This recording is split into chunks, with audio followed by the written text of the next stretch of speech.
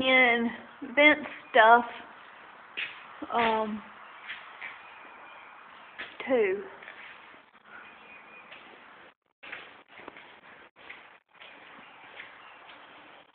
Some of it's silver and some of it's kind of black looking. Oh!